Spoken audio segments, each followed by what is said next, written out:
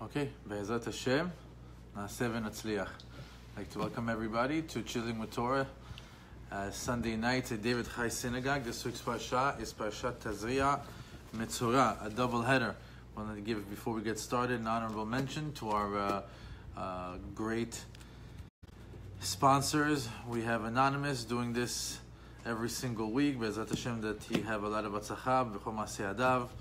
Uh, and we also have uh, Miss uh, Dina Dornbush, who's doing this in honor of her daughter Shayna Badina, that she'll have an easy labor, and for Datzacha, her son Yosef uh, Dornbush, um, uh, that he have Bacha Batzacha in his uh, upcoming wedding. And may this also be to the newborn baby of baby Citron, as well as Mazal Tov, yeah, and to the easy labor of Simcha Bachula and uh, is Simcha Bachula? halfway. Easy. Uh, the- then what? Uh, easy pregnancy. Yeah. Okay, and to the you Sholav, David Ben Zohar. Talking about that more or this, but you know, everything should go well, whatever, easy pregnancy, everything should go well. Okay, so this week's parasha You also easy pregnancy. you can do is Parashat Tazria. So, last week, the parasha dealt with, Parashat Shemini dealt with the death of Nadav and Avihu, the Mishkan and uh, and the Korbanot that were brought on the first uh, of um, Rosh Chodesh Nisan. And then we had the, the the list of kosher animals and non-kosher animals. By the way, quick question about last week. It says that Moshe Rabbeinu actually pointed to the animal and showed it to them. So the quick question is, how did all those animals show up in the desert? How was Moshe Rabbeinu able to show them a penguin or a bear? Winter animals. Why are you able to show them a tiger or a lion? Uh, you know, most of the time the desert is a place just for sn- uh, snakes and scorpions and maybe some camels. Those are the, some of the few animals that can withstand that weather. What are they doing in the desert? How can he point to an eagle? How can he point to a, uh, to, to a kosher animal and to a non kosher animal in the desert? How did they get there? How did they get there? Miracles. Miracles of miracles. But how? Few opinions. The rabbi said, just like the same way that for, uh, um, for Noah, they said two by two came to the came to the boat. Moshe Rabbeinu lo iskeleze himself. Then him, the great leader of Am Yisrael, is not going to merit to have animals come to show them what's kosher and what's not kosher. And then I heard a second opinion of that these. I don't know about the fish, I know about the animals. Is that some of the animals are the animals that hung out after Yitzhak, uh, after Mitzrayim, in the Makat Dever? There was a multitude of uh, mixed animals, and the animals that were used during that Makkah were also the animals that uh, Moshe Rabbeinu used as an example for what's kosher and what's not kosher. I thought that was very interesting. But the only reason why I'm bringing it up is why right after they talk about kosher animals and non-kosher animals, we talk about uh, on Parashat Tazria, uh, on Ishaki Tazria ve'elda zachar. What's the connection? What's the connection between a pregnant woman that gives birth to a child to the kosher animals in the previous chap uh, in the previous parasha? So Rashi tells us right there in the beginning, if you read the first Rashi, it says, Amar Rabbi Simlai, כשם שיצירתו של אדם אחר כל בהמה, חיה ועוף במעשה בראשית, כך תורתו נתפשע אחר תורת בהמה, חיה ועוף. The same way that in the six days of creation, there was first the animals, then the human beings. So it's uh, similarly over here, we bring in the same order. However, I heard, uh, I read a different pirush that says that a person, you know, over here, tazriya metzora, we talk about a person shemotzi shem ra, a person who gets to the point where he's talking lashon about another person, and it said that it's worthy to bring up a, a mosquito and a worm and a bird first before you can mention him. So they said that the reason that they brought the animals first is because if he's not worthy, some, a person who's metzora is not worthy to get mentioned before. Furthermore, we have over here the first part of Tazria. It says, Ki Tazria ve'elda zachar.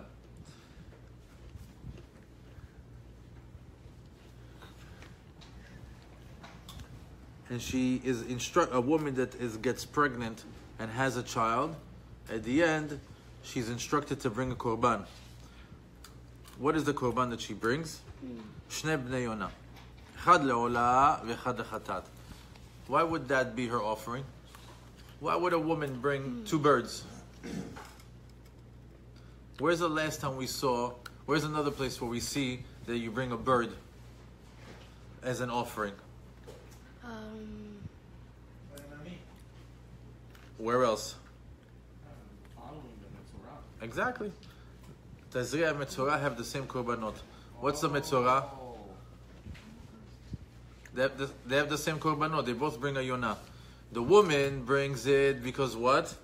One is for chatat, and one is le'olah. What's for chatat? One is because she brings thanks that she became a mother.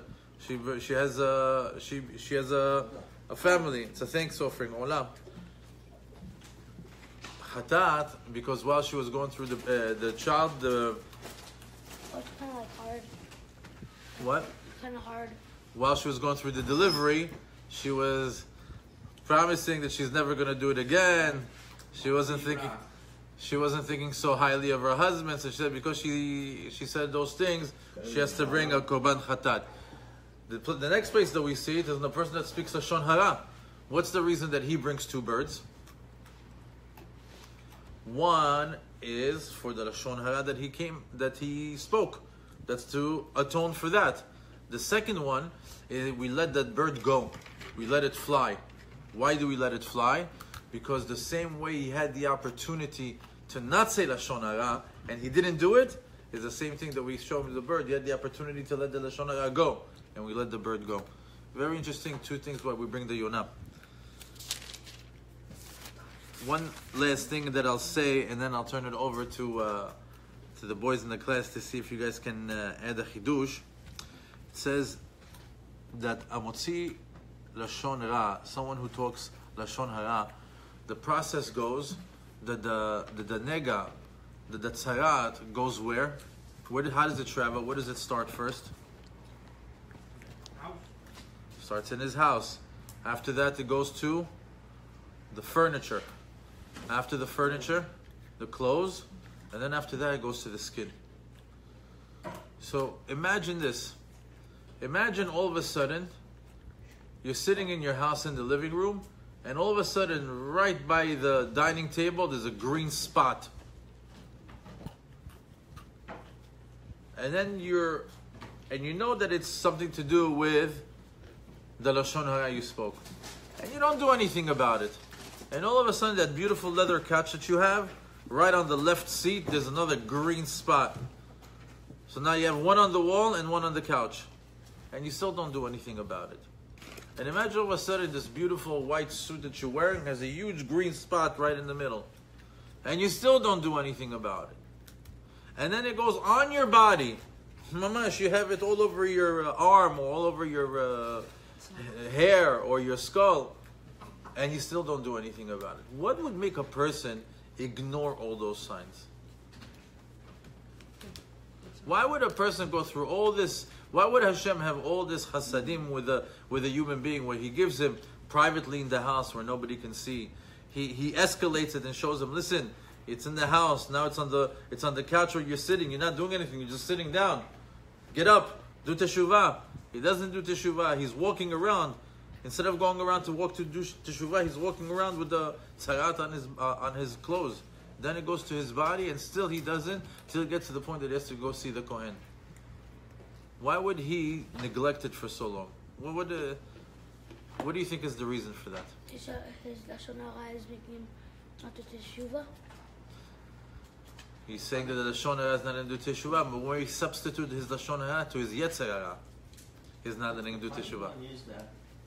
Before it gets to him, it's going to also get to his house and to all the walls. He's going to tear down his house.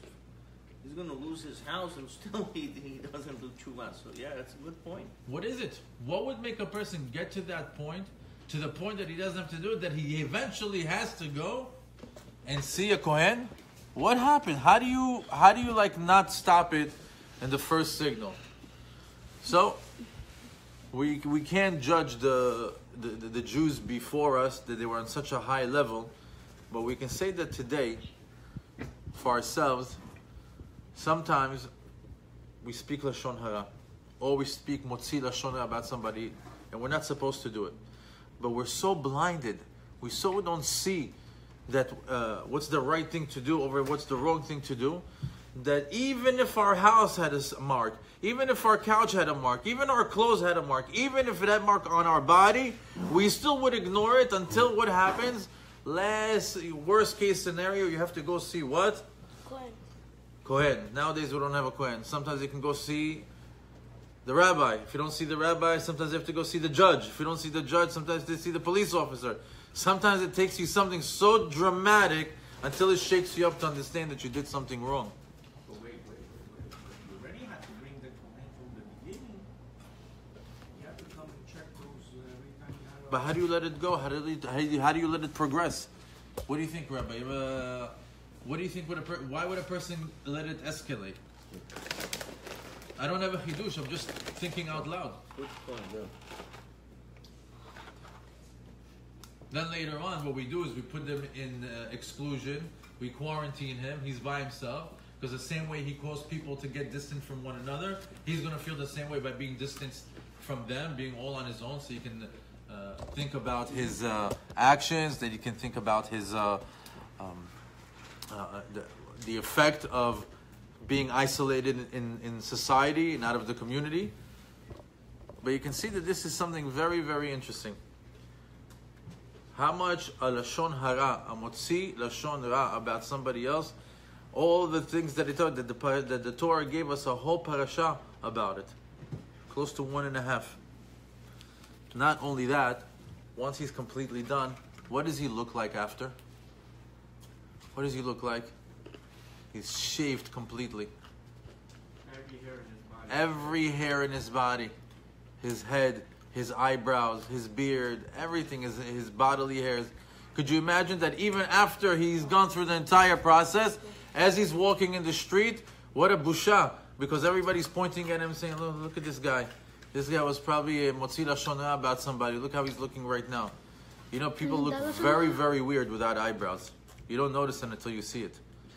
Certain people, when they look, if you ever see a person, you know, there's some cultures that do it. But a person without eyebrows, without hair, they look strange. They stand out. We're not used to seeing people like that. זה גודל בחזרה, בטח שזה גודל. One other thing that I wanted to mention is that it's very, very interesting, is the job of a kohen. The job of a kohen, if you think about it, this is not a regular nine to five. The kohen, he wakes up in the morning, he's got interesting things to do.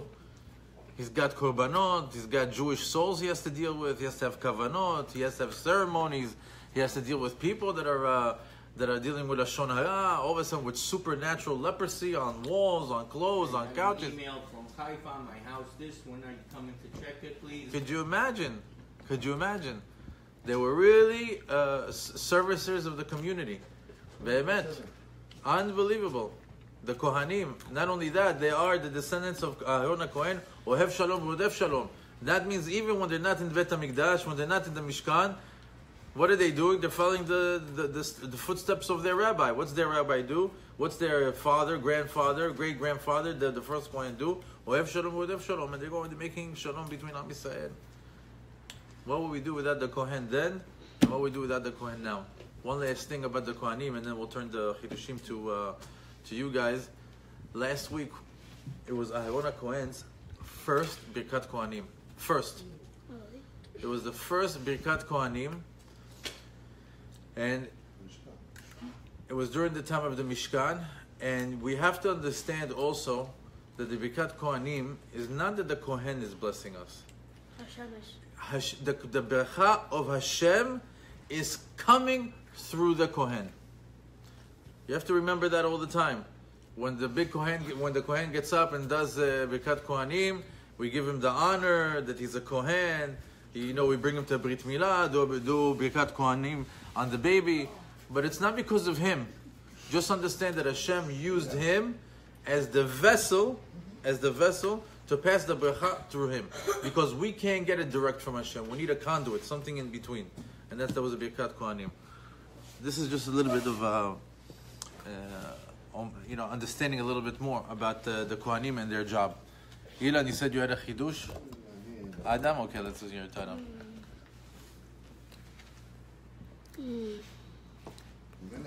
Sit up. Ah, okay. No, I, I have this. I can do this. I want to go last. Okay. Last. Okay. No? You go. Uh, I'm not ready. Go. Rabbi? I'll say something. Um, you brought up a tremendous point about why does it take so long for this guy to change his mind? And it put me to think. And I, I realized um, there's like three categories here. First is his house. Or maybe it's not first, maybe first is his uh, clothing, some of the clothing. No, I thought it was stuff. house, I think so too. furniture, clothing, then him. Right, right.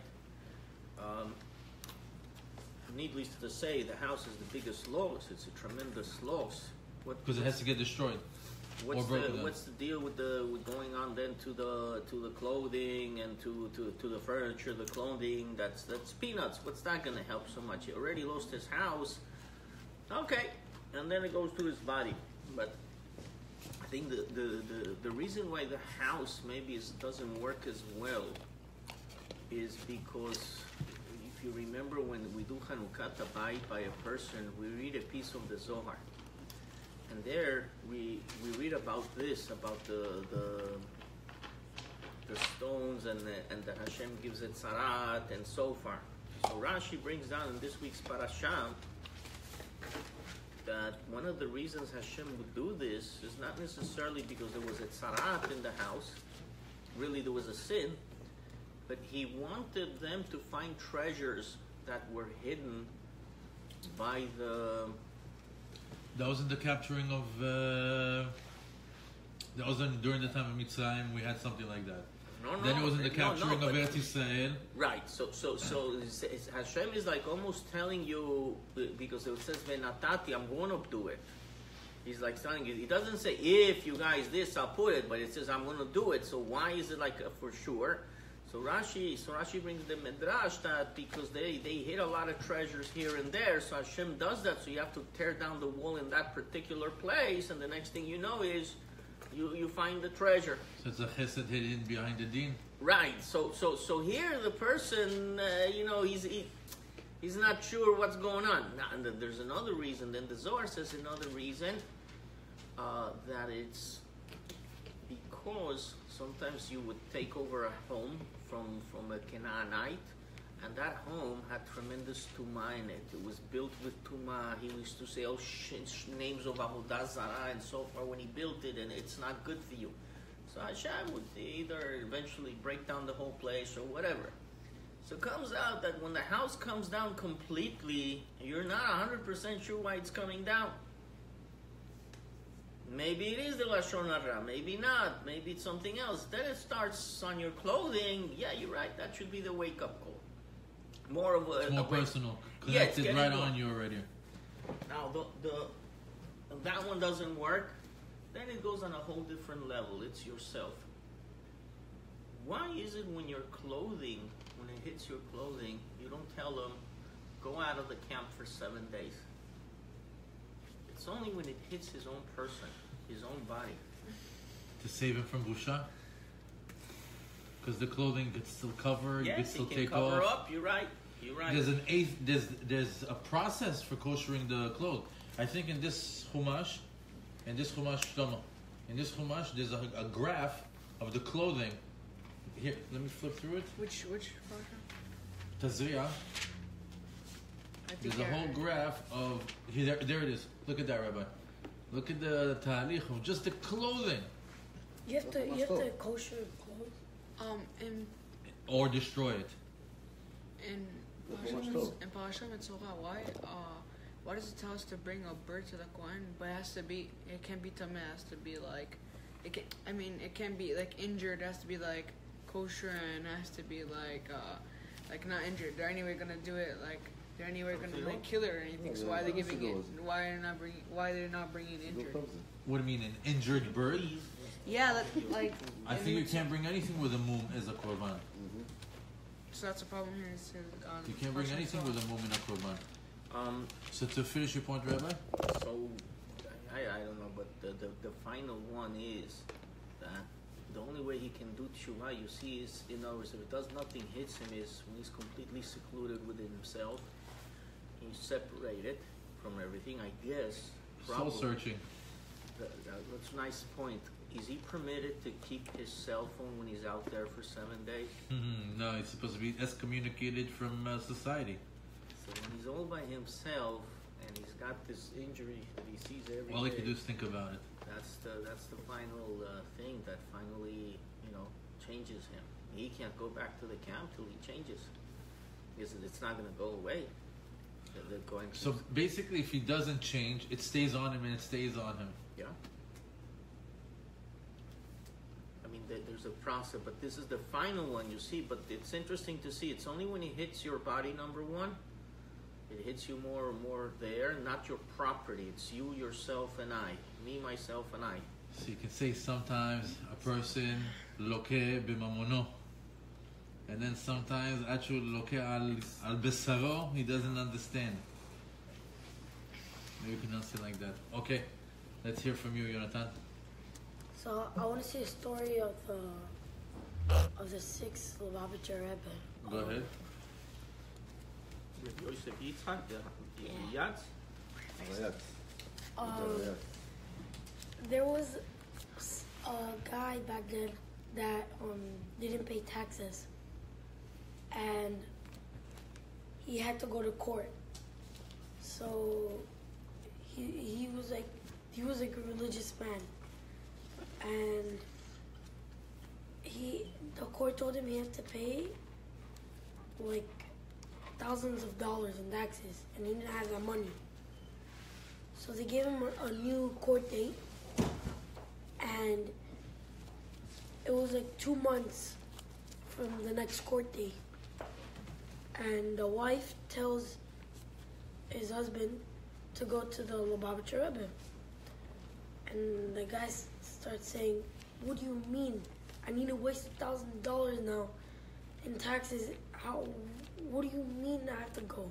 I don't have money to pay for this. His wife like, you should still go. Don't worry. So he kept on bugging him, and at the end, he's like, you know what? I'll go. He went to the, the Lubavitcher. Excuse me. And- Do you know if this story was here in the U.S. or in Russia? We're not sure. in, in Russia, I think. Okay. I just. And um, the Rebbe sends him to a dentist. So he goes back home and he's thinking to himself, a dentist? What am I going to do in a dentist? My teeth are perfect. I don't need to go to no dentist. It's a waste of money, anyways. So he tells his wife. So he sent me to uh, to the dentist, and he's not going. So his wife said, because he told you to go, you should go. And he said, no, you know, I'm not gonna go because this and that. He's like, she's like, go. You need to go if he send you. So uh, again, she she bugged him, and he said, all right. So he, when he went there, he spoke. He spoke to the dentist. He to, the dentist asked for the story, and he told the dentist the story. So the dentist said, "Okay, come come back tomorrow." So he's so mad. He was like, "Oh my God, it's wasting my time." So, anyways, he goes back the next day, and the walls were so thin that he can hear the dentist talking to some guy. So he's telling him the story. He's, he's telling some guy's story, his story, and he he wants to like go in the room and like kill them both. But he said, you know what? I'll just wait. So they call him in. He goes in, And then the the the guy says, "Why are you telling my story to everyone? It's supposed to be private." So the dentist left, and he brought in the guy that was in there. And the guy said, "When is your court date?" And this guy said that it was like uh, a day, some kind of day. And the guy said, "Well, that day I'm the judge, so I'll fix you. But I didn't see you, I didn't meet you, I don't know who you are, nothing. The day of the court, well, I'll help you and make sure you get through this." And who was this? The rabbi? The previous Lubavitcher Rebbe told him to go to the dentist and Nice. Yes. It sounds like a Russian story. I mean, You know, since we're talking about uh, stories about the Lubavitcher Rebbe, I'll tell you about uh, a beautiful story that I heard last month.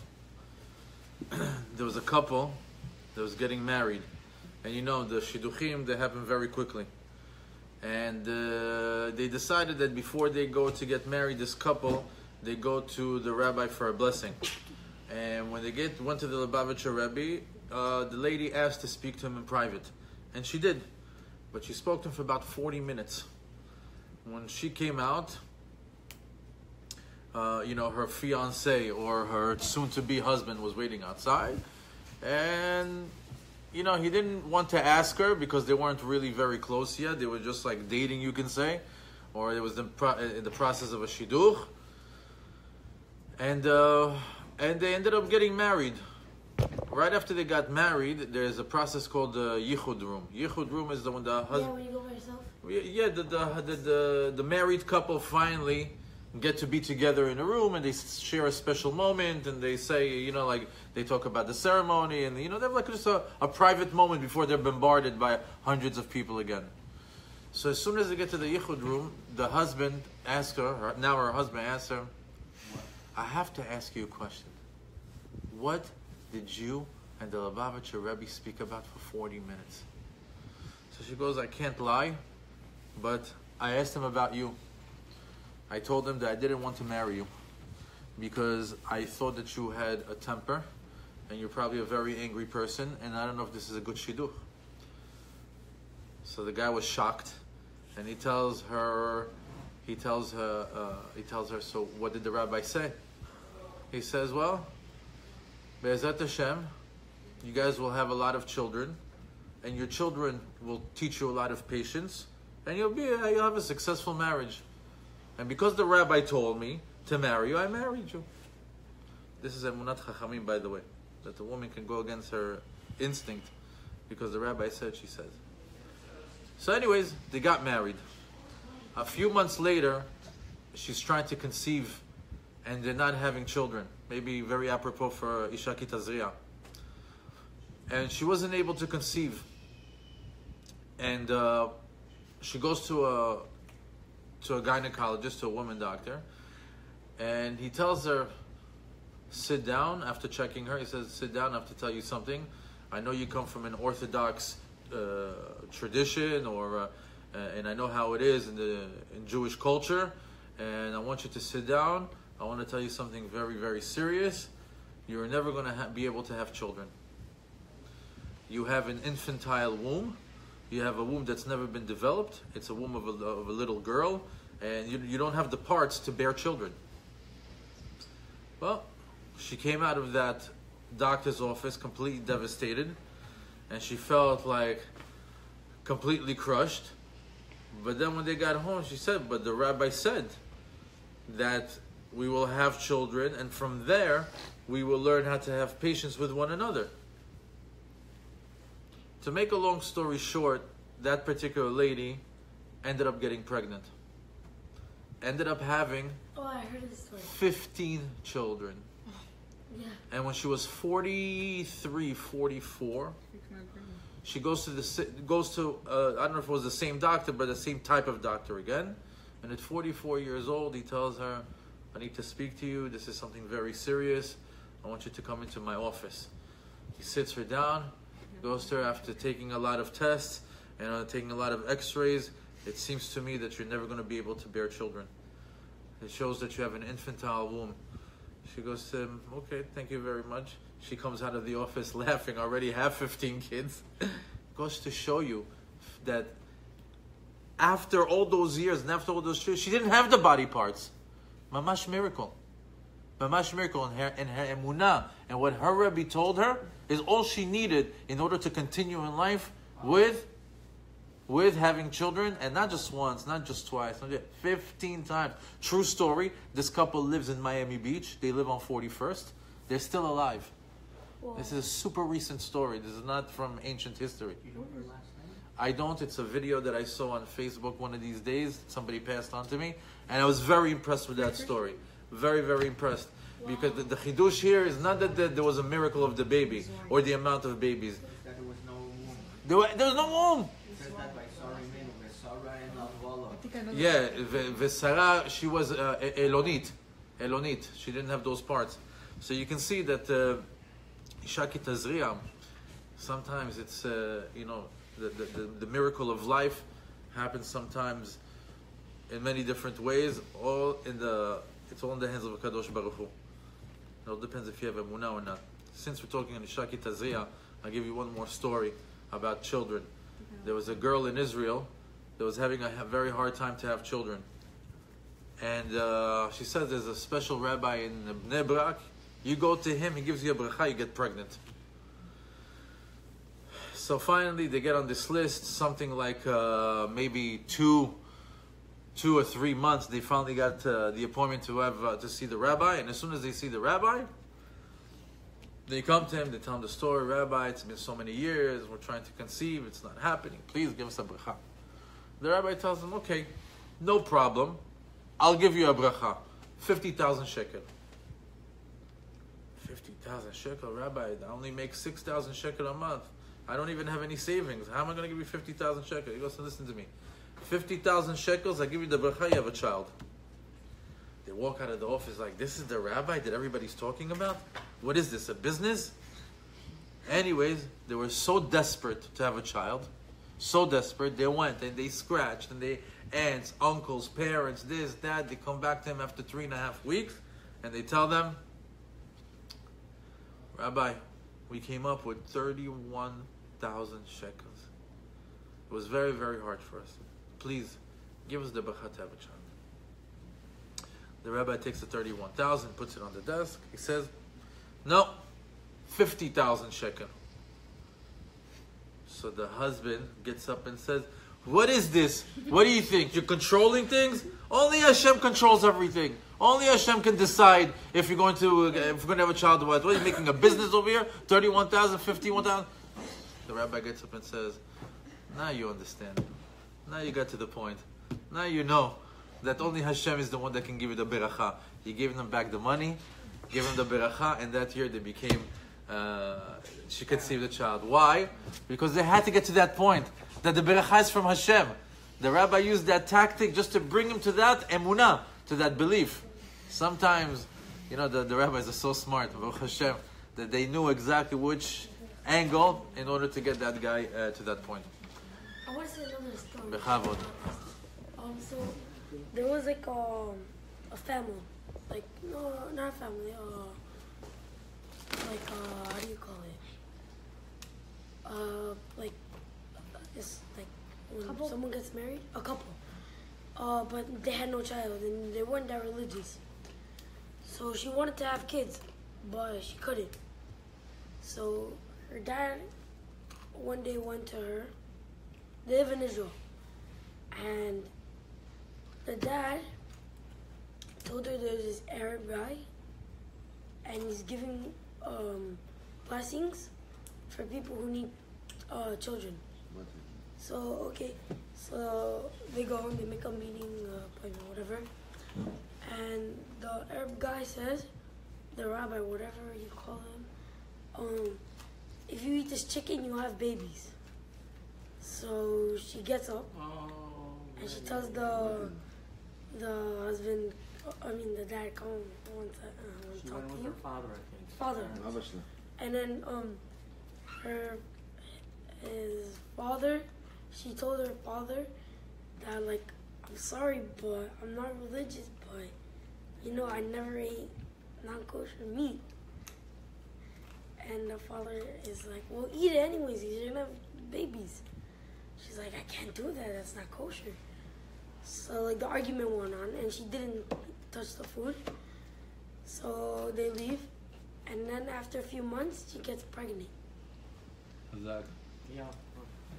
The father was very angry at her. Baruch Hashem, because that's. Uh... Only because he mentioned an Arab. I'll tell you one more story. This is from my aunt. My aunt used to live in a moshav, and one of her best friends was an Israeli Arab. They were very good friends. They were over each other's homes. They did picnics together, barbecues together, holidays together. True, true, true friends. And this Arab couple could not bear children. And they heard about Baba Sali. And this Arab woman heard about Baba Sali, and she says, I want to go get a blessing from Baba Sali. So she says, okay, let's go to Netivot, and let's see what happens. So my aunt goes to, to Netivot with her. She goes and meets with Baba Sali's wife, and she tells her, listen, I have a good friend of mine, she's an Arab, she's a good Arab, she's pregnant, please, the, we, we need to, you know, can the rabbi bless her to have children? So his wife tells him, listen, uh, the rabbi is not going to give a blessing to an Arab. It's not going to happen. What are we going to do? She goes, ah, busha, shuma, what's going to happen? She came all the way from over here. What are we going to do? She goes, listen, I don't know what to tell you, but it's not going to, it's not going to happen. The rabbi is not going to, to bless her. So what, what did my aunt do? She went to the back. She filled up an empty bottle of Coca-Cola with the water from the hose from the backyard. She took the bottle and gave it to everyone and said, drink this. Every morning before you, you do anything, take a glass from here and drink it and don't let it don't let it go down. Every time that it goes to the mouth, fill it back up. To make a long story short, she had such an emunah, such a belief that this was from the rabbi and a blessing from the rabbi. She got pregnant that year after 15 years of being barren. oh my gosh. And there's a and every year she does a hilulah for Baba Sali. There's Arabs in Israel that do a hilulah for Baba Saleh every single year. That big. I'm talking about they do it all out, and they're not Jewish. Wow. And this is my aunt's friend from the from Moshav Klachim. Now, was she an Arab or a uh, Druze? Druzi. I'm not sure. I'm not sure. Who knows? But goes to show you, emunat chachamim. When you believe, I, I'll give you one. You know, since we're now all of a sudden we're starting, we we went from Isha Ketazria to uh, to stories. One. איך? אני זזתי מזוזה בבית. הזזת אני, אשתי אחרי שאדם נולד, אמרה, אני לא, אני רוצה קצת חופש שלוש שנים וזה. ניסינו, ניסינו, אין, כלום לא עזר. אז אני הייתי עוזר לרב שמעיה, הייתי לוקח לו את המזוזות, לחבר שלי בסנריי. אז יום אחד הרב אמר, תגיד לי, אני יכול לעשות סיבוב בבית, אני רוצה את המזוזות שלך, שלי גר בפרוויל? אמרתי לו, תשמע, הרב שם לי את זה פה, תבדוק, אני מסתכל, מסתכל, אומר, טוב, זזזתי לא במקום הנכון. של הכניסה, למה? זה הייתה דלת הזזה, ולא ידעתי ש... זה היה על הקיר. אמר לי לו, זה קצת על ה- הדפנה של החלום. טוב, הזיז לי אותה, אחרי כמה חודשים, השניף את ה... והיא עשה שיעורי תורה, והיא עשתה הכל, כלום. הוא הזיז את המזוזה, השניף את ל... לא על האדם, הלא. הוא היה... תבין למה אני צריך להזיז אותך שם? ויש לי עוד דבר קטן על התזריע. תזריע, אבל אומרים שאם שאתה תזריע תקבל בן, אז העניין של תזריע זה עניין שאישה צריכה לשמור נידה כמו שצריך, ואז הראשי תיבות של תזריע זה תקדש זיווגה ורצון השם עשתה. ואז, כן. נכון, אחרי זה הוא אומר לה, אה, ואז נכון, אומרים בעיתו, הרי בעיתו, מה זה אומר אומרים חז"ל שזה, בעיתו, בעיתו זה שבת. הרי כשגשמים יבוא עם ביתם זה בשבת. ואומרים גם ש... וילדה זכר, ראשי תיבות של... והגימטיה של זכר זה ברכה. וגשמים הרי זה ברכה, ועדיף שיעשו את זה בשבת, כאילו, את העניין הזה של ה... ואז אין להם את הבן. חזק. חזק. כל הכבוד. One nice story of, of uh, Emunat Chachamim.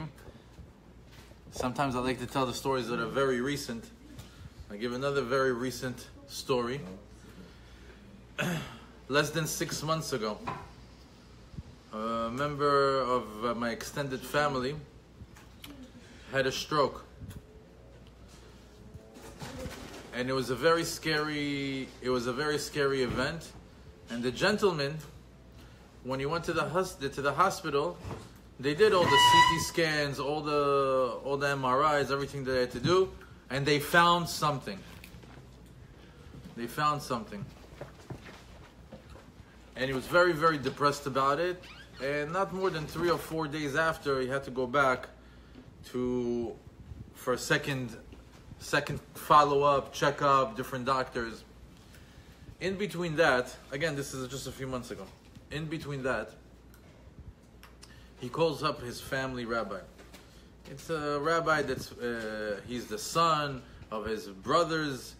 Uh, you know, like uh, that's the family's rabbi. Everything that has to do with uh, with that family, they turn to this particular rabbi, and he tells him the situation. The rabbi Menhon Lehon tells him, "You have nothing." He goes to Rabbi, give me a bracha. He goes why should I give you a bracha? He goes, you have nothing. He says, I saw the picture. I saw the thing. There's something over there. Give me a bracha. He goes, I'll give you a bracha, but you have nothing. He goes to him, how come, uh, so, he goes, he gives him the bracha, and, you know, he took the bracha to heart, and he went to the meeting. He went to the doctor. The doctor comes, they take the thing, they had to take the pictures twice, three times, MRI scans, all this. Nothing there. Nothing there. So he goes back to the rabbi and goes I want to know how you know. How did you know that there's nothing there? I, I have the pictures right now in my hand, I'm looking at it, that there's something there. Today I go back, there's nothing. He goes, the rabbi tells him something very interesting. He goes, You know who made the beracha work? He says, You made the beracha work. You made everything go away. He says, Why? He says, If you believe, the beracha works. If you don't believe, it's never going to work.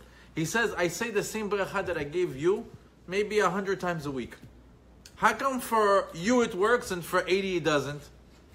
How come it doesn't work 100% down the board for everybody? He says the berachot of the rabbis work only for the guy that has the emunah and he believes in. He says we're just saying words. We're nothing. What are we? The rabbis are uh, mamash just like they they they're, they're like a vessel. They're using the words. He says the way that the beracha gets activated into a Yeshua is when you have emunah in a kadosh baruch Hu, and the, and and you believe in such you have such an emunah that the rabbi is just the one that's giving you the uh, the message. So imagine we have such Yeshuot. It all depends in the Santa Fe. It all believe it depends in the emunah. יש גם סיפור של הרבה, הרי היה, הרבה כל, אה, כל הזמן היה הולך להתפלל, הוא היה הולך לציון של, האדמו"ר הריי"ת. אז, אה, אתה יודע, כשהוא היה הולך, אז כל הזמן היה לו ליווי משטרתי. אז השוטר שכל הזמן מלווה אותו, לא היה לו ילדים. אז הוא אמר לו, הוא הלך למזכיר של הרבי, אתה תגיד לי, הרבי יכול לברך גם אותי, שיהיה לי ילדים? אז הוא אמר לו, בטח, הרבי זה הרבי של כולם. הוא הלך, ביקש ברכה, ונולד לו בן, ולילד הזה קוראים מנחם מנדל, אם אני זוכר נכון, זה השם שלו, מנחם מנדל. ומראים את הדרכון שלו והכל, אתה יודע, הייתי שלו? השוטר הכושי. השוטר, כן. ורשום לו מנחם מנדל. רשום על השם של הרבי. There's a כן, black cop כן. in New York that his name is מנחם מנדל כן. and he is the product of the rabbi's blessing from 20-30 years ago. כן, שהוא היה לך ציון של ה...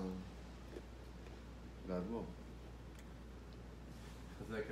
אמונה סטורי זה מי פייבר. טוב, בעזרת השם. That we always have Emunat Chachamim and we'll merit to hear Yeshuot, Brachot, Vatzlachot, and that we feel Hashem's Yeshua in our lives and always remember Yeshuat Hashem, Keheref Hayin. Anything can change in a split second. Shavua Tov.